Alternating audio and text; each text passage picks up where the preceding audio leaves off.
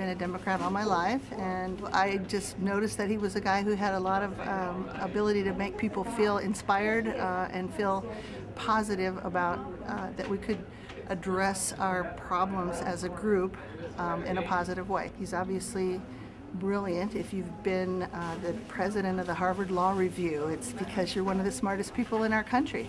And reading about his history in that position, that he did a good job of bringing, again, the diverse points of view together to find the common ground. Um, I've been working with the campaign since, um, I guess, about October.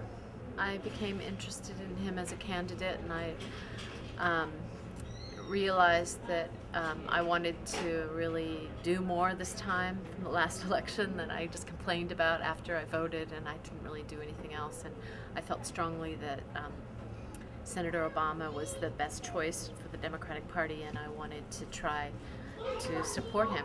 As a precinct captain, you are kind of responsible for just a certain body of voters that are near you. So it was. It's been kind of interesting, actually contacting my neighbors, um, getting to know them a little bit. I've had a few people say like, "Oh."